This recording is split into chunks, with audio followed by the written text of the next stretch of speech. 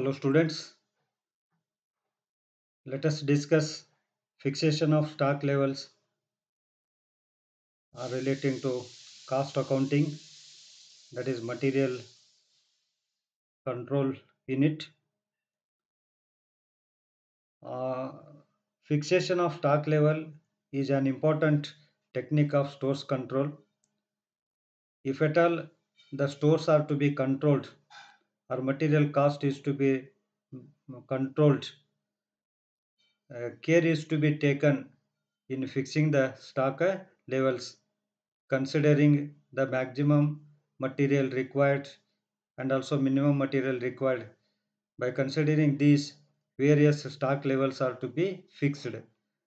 The stock levels to be fixed are maximum stock level minimum stock level reorder level ವಿದ್ಯಾರ್ಥಿಗಳೇ, ಇವತ್ತಿನ ಈ ವಿಡಿಯೋದಲ್ಲಿ material ಕಾಸ್ಟ್ಗೆ ಸಂಬಂಧಪಟ್ಟ ಹಾಗೆ ಯೂನಿಟಿಗೆ ಸಂಬಂಧಪಟ್ಟ ಹಾಗೆ ಫಿಕ್ಸೇಷನ್ ಆಫ್ ಸ್ಟಾಕ್ ಲೆವೆಲ್ಸನ್ನು ನೋಡೋಣ. ಹಾಗಾದರೆ ಫಿಕ್ಸೇಷನ್ ಆಫ್ ಸ್ಟಾಕ್ ಲೆವೆಲ್ಸು ಸ್ಟಾಕ್ಗಳ ಮಟ್ಟ ಅಂತ ಹೇಳಿ, ಇದು ಮಟೀರಿಯಲ್ ಕಾಸ್ಟ್ ಕಂಟ್ರೋಲ್ನ ಒಂದು ಮಹತ್ವದವಾದಂಥ ತಂತ್ರ ಅಂತ ಹೇಳ್ಬೋದು, ಅಥವಾ ಟೆಕ್ನಿಕ್ ಅಂತ ಹೇಳ್ಬೋದು. ಮಟೀರಿಯಲ್ಸನ್ನು ಸ್ಟೋರ್ ಮಾಡುವಾಗ, ನಾವು ಮ್ಯಾಕ್ಸಿಮಮ್ ಸ್ಟಾಕ್ ಎಷ್ಟು ಮಾಡ್ಬೋದು? ಮಿನಿಮಮ್ ನಮ್ಗೆ ಎಷ್ಟು ಬೇಕು ಥ್ರೂಔಟ್ ದ ಇಯರ್ ಪ್ರೊಡಕ್ಷನ್ ನಡೆಸಲಿಕ್ಕೆ?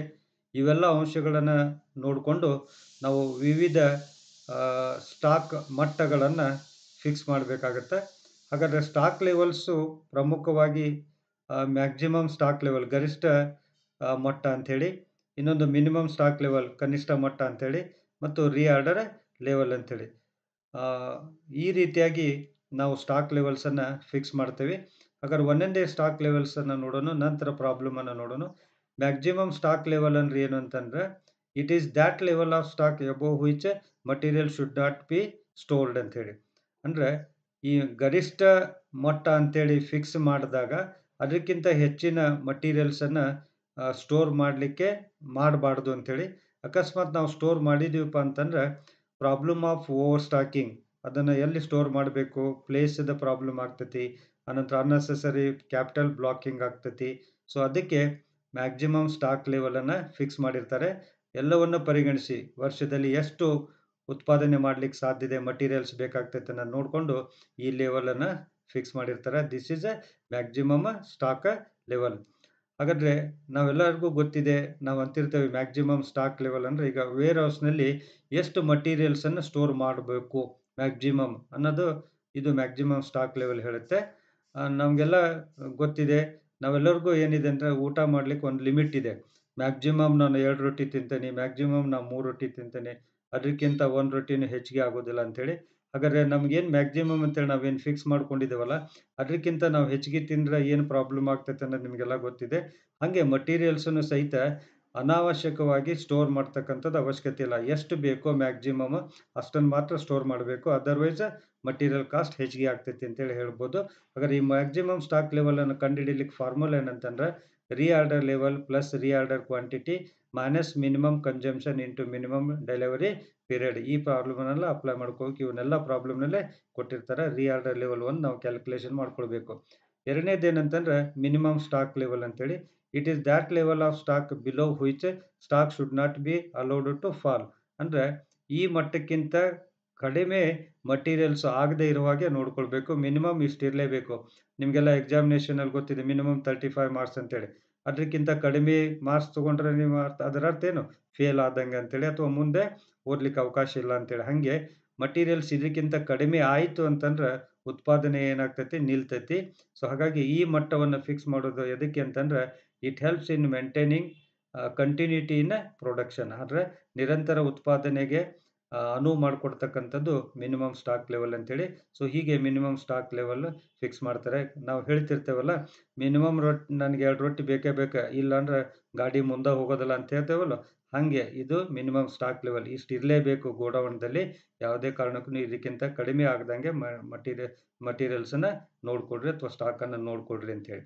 Next minimum stock level is to formula ಏನಂತಂದ್ರೆ reorder level minus average consumption into average delivery period ಈ ಎವರೇಜ್ ಕನ್ಸಂಪ್ಷನ್ ಕೊಟ್ಟಿದ್ದಿಲ್ಲ ಅಂತಂದ್ರೆ, ಅದನ್ನು ಕಂಡು ಹಿಡ್ಕೊಳ್ಬೇಕು ನಾವು. ಎವರೇಜ್ಗೆ ನಾರ್ಮಲ್ನು ಅಂತಾರೆ normal consumption or average consumption one and the same ಹಾಗಾದ್ರೆ ಎವರೇಜ್ ಕನ್ಸಂಪ್ಷನ್ ಕೊಟ್ಟಿದ್ದಿಲ್ಲ ಅಂದ್ರೆ minimum consumption plus maximum consumption divided by two ಮಾಡಿದ್ರೆ, ನಮಗೆ ಎವರೇಜ್ ಕನ್ಸಂಪ್ಷನ್ ಬರುತ್ತೆ. ಅದೇ ರೀತಿ ಎವರೇಜ್ ಡೆಲಿವರಿ ಟೈಮ್ ಕೊಟ್ಟಿದ್ದಿಲ್ಲ ಅಂತಂದರೆ maximum period plus minimum period divided by two ಮಾಡಿರೋ ಸಹಿತ ನಮಗೆ ಎವರೇಜ್ ಪೀರಿಯಡ್ ಬರುತ್ತೆ ಅಥವಾ ನಾರ್ಮಲ್ ಪೀರಿಯಡ್ ಬರುತ್ತೆ. ಸೊ ಈ ರೀತಿಯಾಗಿ ಮ್ಯಾಕ್ಸಿಮಮ್ ಮಿನಿಮಮ್ ಸ್ಟಾಕ್ ಲೆವೆಲನ್ನು ನಾವು ಕ್ಯಾಲ್ಕುಲೇಷನ್ ಮಾಡಬೇಕು. Next reorder level it is that level of stock when stock reaches this level the store keeper has to send an indent to purchase department to purchase materials ಹಾಗಾದರೆ reorder level ಯಾವಾಗ stock ಈ ಲೆವೆಲ್ಗೆ reach ಆಗುತ್ತೋ ಆವಾಗ store keeper ಏನು ಮಾಡಬೇಕಂತಂದ್ರೆ ಮಟೀರಿಯಲ್ಸನ್ನು ಖರೀದಿ ಮಾಡಿರಿ ಅಂತೇಳಿ ಪರ್ಚೇಸ್ ಡಿಪಾರ್ಟ್ಮೆಂಟ್ಗೆ ಇಂಡೆಂಟನ್ನು ಕಳಿಸ್ಬೇಕು. ಅಂದರೆ ಅವರು ಮಟೀರಿಯಲ್ಸ್ ಖರೀದಿ ಮಾಡೋದ್ರೊಳಗನ ಅದು ರೀಆರ್ಡರ್ ಕಡಿಮೆ ಆಗಿ ಮಟೀರಿಯಲ್ ಮಿನಿಮಮ್ ಸ್ಟಾಕ್ ಲೆವೆಲ್ ಬರುತ್ತೆ. ಮತ್ತು ಹೊಸ ಮಟೀರಿಯಲ್ಸ್ ಖರೀದಿ ಮಾಡಿದ್ದು ಬಂದುಬಿಡ್ತವೆ. ಸೊ ಹಾಗಾಗಿಬಿಟ್ಟು ಮಿನಿಮಮ್ ಸ್ಟಾಕ್ ಲೆವೆಲ್ ಬಂದ ಮೇಲೆ ನಾವು ಖರೀದಿ ಮಾಡೋಕ್ಕಿಂತ ಈ ರೀಆರ್ಡರ್ ಲೆವೆಲ್ ಬಂದಾಗ ಖರೀದಿ ಮಾಡಿದ್ರೆ ನಮ್ಮ ಪ್ರೊಡಕ್ಷನ್ ಕಂಟಿನ್ಯೂಟಿ ಇರ್ತೈತೆ ಅಂತೇಳಿ ಹೇಳ್ಬೋದು. ಹಾಗಾದ್ರೆ ಈ reorder level it is in the middle of the minimum maximum stock level and minimum stock level minimum stock level ಮತ್ತು ಮ್ಯಾಕ್ಸಿಮಮ್ ಸ್ಟಾಕ್ ಲೆವೆಲ್ ಮಧ್ಯದಲ್ಲಿ ಈ ರೀಆರ್ಡರ್ ಲೆವೆಲನ್ನು ಫಿಕ್ಸ್ ಮಾಡಿರ್ತಾರೆ ಅಂತೇಳಿ ಹೇಳ್ಬೋದು. Next reorder level is equal to maximum consumption into maximum delivery period ಈ formula ಹಚ್ಚಿದ್ರೆ ನಮಗೆ ರೀಆರ್ಡರ್ ಲೆವೆಲ್ ಬರುತ್ತೆ. ಸೊ ನೀವೆಲ್ಲ ನೋಡಿರ್ಬೋದು ಡ್ಯಾಮ್ಗೆ ಪ್ರವಾಸ, ಪ್ರವಾಸಕ್ಕೆ ಹೋಗಿರ್ತೀರಿ ಡ್ಯಾಮ್ಸ್ಗಳನ್ನು ನೋಡಿರ್ತೀರಿ, ಆ ಡ್ಯಾಮ್ಸ್ನಲ್ಲಿ ರೆಡ್ ಮಾರ್ಕ್ನಲ್ಲಿ ಬರೆದಿರ್ತಾರೆ. Maximum level minimum level and danger level ಅಂತ ಹಿಂಗೆಲ್ಲ ಬರೆದಿರ್ತಾರೆ. ಸೊ ಅದೇನಂದರೆ ಮ್ಯಾಕ್ಸಿಮಮ್ ಆ ಡ್ಯಾಮ್ನಲ್ಲಿ ಎಷ್ಟು ನೀರನ್ನು ಸಂಗ್ರಹಣೆ ಮಾಡ್ಬೋದು ಮಿನಿಮಮ್ ಆ ಡ್ಯಾಮ್ನಲ್ಲಿ ಎಷ್ಟು ನೀರು ಇರಲೇಬೇಕು ಅಂಥೇಳಿ ಅಂತಕ್ಕಂಥದ್ದನ್ನು ತೋರಿಸಿರ್ತಾರೆ. ಅದೇ ರೀತಿ ಇಲ್ಲಿ ಮ್ಯಾನುಫ್ಯಾಕ್ಚರಿಂಗ್ ಕಂಪ್ನಿನಲ್ಲೂ ಸಹಿತ ಈ ರೀತಿ ಮಟೀರಿಯಲ್ಸನ್ನು ಫಿಕ್ಸ್ ಮಾಡಿಕೊಳ್ಳೇಬೇಕು ಅಂಥೇಳಿ ಸೊ ನಿಮಗೆಲ್ಲ ಗೊತ್ತಿರ್ಬೋದು ಈ ರೀಆರ್ಡರ್ ಲೆವೆಲ್ ಏನಂತಂದ್ರೆ ನೀವೆಲ್ಲ ಬೈಕನ್ನು ಯೂಸ್ ಮಾಡಿರ ಅಥವಾ ಸ್ಕೂಟಿಯನ್ನು ಯೂಸ್ ಮಾಡಿದ್ರೆ ನಿಮಗೆಲ್ಲ ಗೊತ್ತಾಗುತ್ತೆ. ಪೆಟ್ರೋಲು ರಿಸರ್ವ್ ಬಂದಿದೆ ಅಂತ ಹೇಳ್ತೇವೆ ನಾವು. ರಿಸರ್ವ್ ಬಂದಿದೆ ಅಂತಂದ್ರೆ ಅದು ನಥಿಂಗ್ ಬಟ್ ರೀಆರ್ಡರ್ ಲೆವೆಲಿಗೆ ಬಂದಿದೆ ಅಂತೇಳಿ ಅದೇನು ಇಂಡಿಕೇಶನ್ ಕೊಡುತ್ತೆ ಅಂತಂದ್ರೆ ಮುಂದೆ ಎಲ್ಲಾದರೂ ಪೆಟ್ರೋಲ್ ಬಂಕ್ ಇದ್ದರೆ ಪೆಟ್ರೋಲ್ ಹಾಕಿಸ್ಕೊಡ್ರಿ ಅಂತಕ್ಕಂಥ ಮಾಹಿತಿಯನ್ನು ಕೊಡ್ತಕ್ಕಂಥ ರಿಸರ್ವ್ ಏನು ಬಂದಂಗೆ ಇರ್ತೈತಲ್ಲ ಗಾಡಿನಲ್ಲಿ ಬೈಕ್ನಲ್ಲಿ ಹಾಗೆ ರೀಆರ್ಡರ್ ಲೆವೆಲ್ ವರ್ಕ್ ಮಾಡ್ತೈತೆ ಅಂತೇಳಿ ಹೇಳ್ಬೋದು. ಸೊ ಇದು theoretical aspect with regard maximum stock level minimum stock level and reorder level let us see the problems on reorder level minimum stock and maximum stock various levels calculation ಮಾಡಿ form problem ಅನ್ನು ನೋಡೋಣಂತ the following information available from books of Philips T V company reorder quantity three hundred sixty units then maximum maximum consumption 900 units per week and then normal consumption 600 units per week then minimum consumption 300 units per week then emergency period 2 weeks then reorder period 3 to 5 weeks ಇಷ್ಟೆಲ್ಲ farm ಪ್ರಾಬ್ಲಮ್ಸ್ನಲ್ಲಿ information ಕೊಟ್ಟಿದ್ದಾರೆ ಏನು calculate ಮಾಡಿರಿ ಅಂತ ಹೇಳ್ತಾ ಇದ್ದಾರೆ ಅಂದರೆ first reorder level ಮಾಡಿರಿ next minimum stock level then maximum stock level danger level and then average stock level ಎಲ್ಲ ಲೆವೆಲ್ಸನ್ನು ಕ್ಯಾಲ್ಕುಲೇಟ್ ಮಾಡ್ತಕ್ಕಂಥದ್ದು ಇದೊಂದು ಪ್ರಾಬ್ಲಮು ಇದು ಒಂದು ಪ್ರಾಬ್ಲಮನ್ನು ನೀವು ಸರಿಯಾಗಿ ಮಾಡ್ಕೊಳ್ಳಿ. ನಿಮಗೆ ಫೈವ್ ಮಾರ್ಕ್ಸ್ಗಾದ್ರೂ ಕೇಳ್ಬೋದು, ಈ ಪ್ರಾಬ್ಲಮನ್ನು ಫಿಫ್ಟೀನ್ ಮಾರ್ಕ್ಸ್ಗಾದರೂ ಕೇಳ್ಬೋದು. ಸೊ ಇದಕ್ಕೆ ಸೊಲ್ಯೂಷನ್ ನೋಡಿರಿ. ಸೊಲ್ಯೂಷನ್ ಅಂತಂದರೆ ಏನೇನು ಇಲ್ಲ. ಬರೇ ಫಾರ್ಮುಲಾ ಅಪ್ಲೈ ಮಾಡೋದು ಫಿಗರ್ಸ್ ಕೊಟ್ಟಿರ್ತಾರೆ ಪ್ರಾಬ್ಲಮ್ನಲ್ಲಿ ಆ ಫಿಗರ್ಸನ್ನು ಬರೆಯೋದು. ಹಾಗಾದರೆ ರೀ ಆರ್ಡರ್ ಲೆವೆಲ್ ಫಸ್ಟ್ ಕ್ಯಾಲ್ಕುಲೇಷನ್ ಮಾಡ್ಕೋಬೇಕು ನಾವು. ಯಾಕಂದರೆ minimum stock reorder level ಬೇಕು maximum stock reorder level ಬೇಕು. ಅದರಿಂದ ರೀ ಆರ್ಡರ್ ಲೆವೆಲ್ ಕ್ಯಾಲ್ಕುಲೇಷನ್ ಮಾಡಿ. ಈಗಾಗಲೇ ನಾವು ಫಾರ್ಮುಲಾ ಹೇಳಿದ್ದೇನೆ reorder level is equal to maximum consumption into maximum delivery period ಅಂತೇಳಿ. ಸೊ ಎರಡನ್ನೂ ಕೊಟ್ಟಿದ್ದಾರೆ. Maximum consumption nine hundred units ಕೊಟ್ಟಿದ್ದಾರೆ. And then maximum delivery period five weeks ಅಂತ ಕೊಟ್ಟಿದ್ದಾರೆ. ನೀವು ನೋಡಿರಿ, ಇಲ್ಲಿದೆ ತ್ರೀ ಟು ಫೈವ್ ವೀಕ್ಸ್ ಅಂತ ಹೇಳಿದಾರಲ್ಲ ರೀಆರ್ಡರ್ ಪೀರಿಯಡ್ ಇದು ಡೆಲಿವರಿ ಪೀರಿಯಡ್ ಅಂದ್ರೆ ಒಂದೇ ರೀಆರ್ಡರ್ ಪೀರಿಯಡ್ ಅಂದ್ರೆ ಒಂದೇ. ಮತ್ತು ಡೆಲಿವರಿ ಪೀರಿಯಡ್ ಅಂತಂದ್ರೆ ಕೊಟ್ಟೇ ಇಲ್ಲ ಸರ್ ಡೆಲಿವರಿ ಅನ್ನೋದಂತ ಅಂದ್ಬೇಡ್ರಿ. ಡೆಲಿವರಿ ಪೀರಿಯಡ್ ಅಂದ್ರೆ ಮತ್ತೆ ತಪ್ಪು ಅರ್ಥ ಮಾಡ್ಕೊಳ್ಬೇಡ್ರಿ.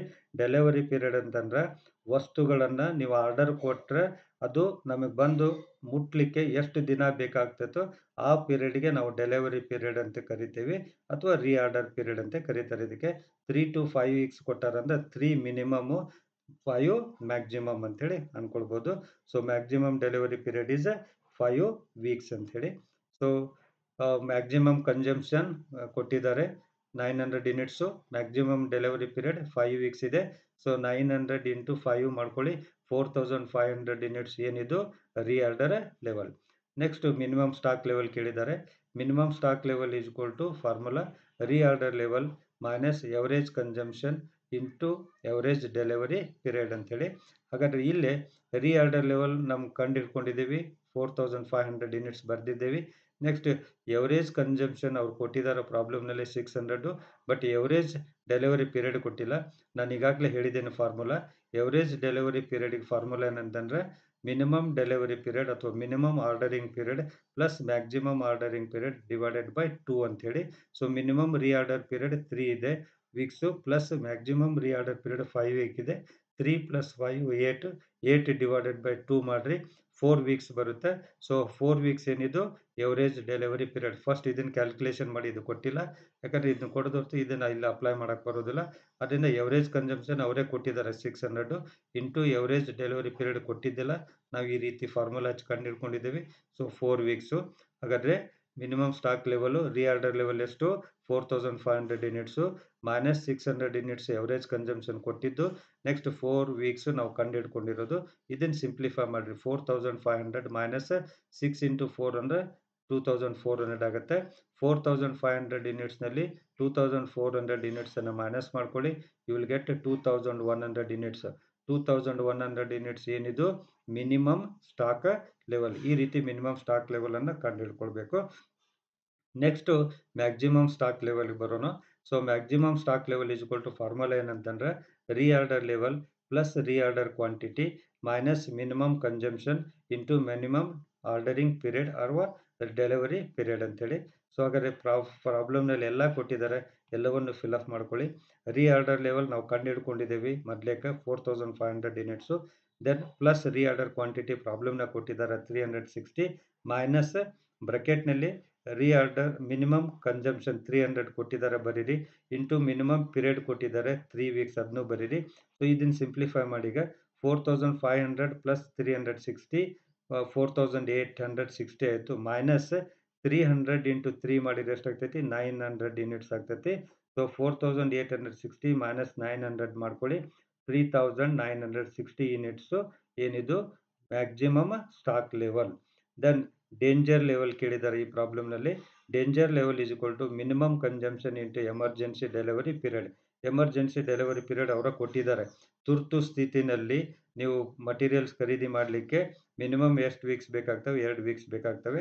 ಸೊ ಮಿನಿಮಮ್ ಕನ್ಸಂಪ್ಷನ್ ಅವರೇ ಕೊಟ್ಟಿದ್ದಾರೆ three hundred units into emergency delivery period two weeks ಕೊಟ್ಟಿದ್ದಾರೆ. ತ್ರೀ ಹಂಡ್ರೆಡ್ ಇಂಟು ಟೂ ಮಾಡ್ಕೊಳ್ಳಿ. ಸಿಕ್ಸ್ ಹಂಡ್ರೆಡ್ ಯೂನಿಟ್ಸ್ ಏನಿದು? ಡೇಂಜರ್ ಲೆವೆಲ್ ಅಂತೇಳಿ. ನೆಕ್ಸ್ಟು ಎವರೇಜ್ ಸ್ಟಾಕ್ ಲೆವೆಲ್ ಕೇಳಿದ್ದಾರೆ average stock level is to minimum stock level plus maximum stock level divided by two ಮತ್ತು ಇಲ್ಲಿ average delivery period ಬೇರೆ stock level ಬೇರೆ stock level average stock level ಅಂದರೆ minimum stock level ನಾವು ಕಂಡು ಹಿಡ್ದಿರೋದು plus maximum stock level ಕಂಡು ಹಿಡ್ದಿರೋದು ಡಿವೈಡೆಡ್ ಬೈ ಟೂ ಮಾಡ್ಕೊಳ್ಬೇಕು ಇಲ್ಲಿದೆ ನಿಮಗೆ minimum consumption minimum delivery minimum stock level two thousand one hundred units ಇದೆ then maximum stock level three thousand nine hundred sixty ಇದೆ so two thousand one hundred plus three thousand nine hundred sixty divided by two ಮಾಡ್ಕೊಳ್ಳಿ. So total ಎಷ್ಟಾಗುತ್ತೆ ಅಂದರೆ ಇದು two thousand one hundred plus three thousand nine hundred sixty is equal to six thousand sixty ಆಗುತ್ತೆ. Divided by two ಮಾಡಿರಿ. So average stock level is equal to three thousand thirty units so in this way minimum stock level maximum stock level reorder level danger level and average stock level is to be calculated so ಈ ರೀತಿ ಎಲ್ಲ fix ಮಾಡೋದ್ರಿಂದ ನಾವು maximum level fix ಮಾಡೋದ್ರಿಂದ, ಅಂದರೆ maximum ಮೂರು ಸಾವಿರದ ಒಂಬೈನೂರ ಅರವತ್ತು ಯೂನಿಟು ಇದಕ್ಕಿಂತ ಹೆಚ್ಚಿಗೆ ನೀವು ಮಟೀರಿಯಲ್ಸನ್ನು ಖರೀದಿ ಮಾಡಲೇಬಾರ್ದು. ಮಟೀರಿಯಲ್ಸನ್ನು ಗೋಡೌನ್ದಲ್ಲಿ ಇದಕ್ಕಿಂತ ಹೆಚ್ಚಿಗೆ ಸ್ಟೋರ್ ಮಾಡಲಿಕ್ಕೆ ಕೆಪಾಸಿಟಿ ಇರೋದಿಲ್ಲ. ಇದು ಮ್ಯಾಕ್ಸಿಮಮ್ ಸ್ಟಾಕ್ ಲೆವೆಲ್ ಅದೇ ರೀತಿ minimum stock level two thousand one hundred units ಇದೆ. ಅಂದರೆ ಗೋಡೌನ್ದಲ್ಲಿ minimum two thousand one hundred units ಇರಲೇಬೇಕು. ಅದಕ್ಕಿಂತ ಕೆಳಗಡೆ ಹೋಗ್ಲಿಕ್ಕೆ ಬಿಡಬೇಡ್ರಿ ಅದಕ್ಕಿಂತ ಕೆಳಗಡೆ ಹೋತು ಅಂತಂದ್ರೆ ಮಟೀರಿಯಲ್ಸ್ ಶಾರ್ಟೇಜ್ ಆಗ್ತೈತಿ ಪ್ರೊಡಕ್ಷನ್ ಸ್ಟಾಪ್ ಆಗ್ತೈತಿ ಅಂತೇಳಿ ಹೇಳ್ಬೋದು. ಈ ರೀತಿಯಾಗಿ ಇವೆಲ್ಲ ಸ್ಟಾಕ್ ಲೆವೆಲ್ಲು ಮಟೀರಿಯಲ್ ಕಾಸ್ಟನ್ನು ಕಂಟ್ರೋಲ್ ಮಾಡಲಿಕ್ಕೆ ಸಹಾಯ ಮಾಡ್ತವೆ ಅಂತ ಹೇಳ್ತಾ ಈ ವಿಡಿಯೋ ನಿಮಗೆಲ್ಲ ಲೈಕ್ ಆಗ್ತಿದೆ ಅಂತ ಹೇಳಿ ಅಂದ್ಕೊಂಡಿದ್ದೀನಿ ಲೈಕ್ ಆದರೆ ಲೈಕ್ ಇದು ಮಾಡ್ಕೊಳ್ಳಿ ಕಮೆಂಟ್ ಮಾಡಿ ಅಂತ ಹೇಳ್ತಾ ಮತ್ತೊಂದು ವಿಡಿಯೋದೊಂದಿಗೆ ನಾವು ನೀವು ಭೇಟಿಯಾಗೋಣ. ಅಲ್ಲಿವರೆಗೂ ಗುಡ್ ಬೈ. ಏನಾದರೂ ಪ್ರಾಬ್ಲಮ್ಸ್ ಇದ್ದರೆ ಡೌಟ್ಸ್ ಇದ್ದರೆ ಕೇಳಿ. ಇಲ್ಲೇ ಬರೀ ನಿಮಗೆ maximum stock level minimum stock level reorder level ಅಷ್ಟೇ ಕೇಳಿ ಐದು ಮಾರ್ಸಿಗೆ ಕೇಳ್ಬೋದು. ಬಟ್ ಇವೆಲ್ಲ ಸ್ಟಾಕು ಕೇಳಿದ್ರು ಅಂತಂದರೆ ಹದಿನೈದು ಮಾರ್ಸಿಗೆ ಕೇಳ್ಬೋದು. ಅಥವಾ X product and Y product ಅಂತ ಕೇಳ್ಬೋದು. ಅಂದರೆ ಎಕ್ಸ್ ಪ್ರಾಡಕ್ಟಿಂದ ಸಪ್ರೇಟ್ ಮಾಡಬೇಕು ವೈ ಪ್ರಾಡಕ್ಟಿಂದ ಸ್ಟಾಕ್ ಲೆವೆಲ್ ಸಪ್ರೇಟ್ ಮಾಡ್ಕೋಬೇಕು. ಆ ರೀತಿಯೂ ನಿಮಗೆ ಪ್ರಾಬ್ಲಮ್ಸು ಕೇಳ್ಬೋದು. ಸೊ ಇಷ್ಟೆಲ್ಲ ನೀವು ತಯಾರಿಯನ್ನು ಮಾಡ್ಕೊಳ್ಬೇಕು ಅಂತ ಹೇಳ್ತಾ ಸೊ ಭಾಳ ಈಸಿ ಮೆಥಡ್ ಇದು. ಈಸಿ ಪ್ರಾಬ್ಲಮ್ಸ್ ಇವೆಲ್ಲ. ಬರೀ ಏನಿಲ್ಲ ಫಾರ್ಮುಲಾ ಅಪ್ಲೈ ಮಾಡಬೇಕು. ಪ್ರಾಬ್ಲಮ್ನಲ್ಲಿ ಎಲ್ಲ ಕೊಟ್ಟಿರ್ತಾರೆ. ಕೊಟ್ಟಿದ್ದನ್ನು ನಾವು ಬರ್ಕೊತ ಹೋಗೋದು. ಇಷ್ಟೇ ಕೆಲಸಕ್ಕೆ ನಮಗೆ ಮಾರ್ಕ್ಸನ್ನು ಬರ್ತವೆ. ಸೊ ಈ ಕೆಲಸವನ್ನು ನೀವು ಅಚ್ಚುಕಟ್ಟಾಗಿ ಮಾಡಬೇಕು ಅಂತ ಕೇಳ್ತಾ ಈ ವಿಡಿಯೋನ ಇಲ್ಲಿಗೆ ಮುಗಿಸ್ತಾ ಇದ್ದೇನೆ.